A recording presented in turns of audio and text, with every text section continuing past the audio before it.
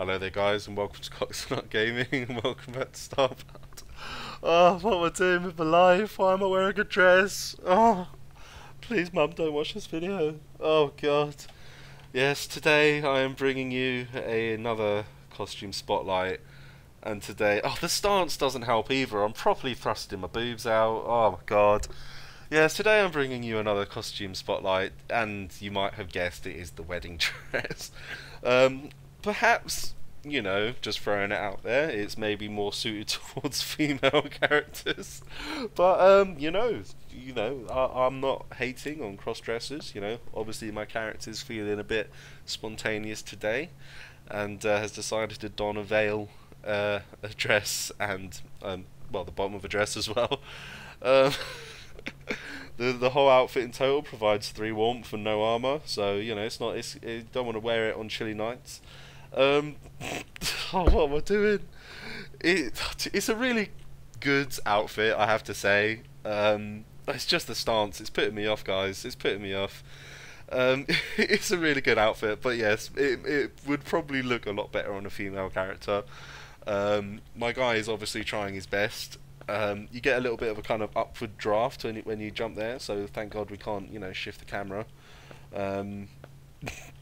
Oh dear, what am I doing? But as always, you know, you can get this outfit from uh, normal and apex chests, 0.3%, 0.03%, sorry, chance of finding them in each of those. Um, I personally feel, for this one, uh, for finding this outfit, what one thing they could do is kind of have obviously you have, you have randomly appearing towns uh, around the place.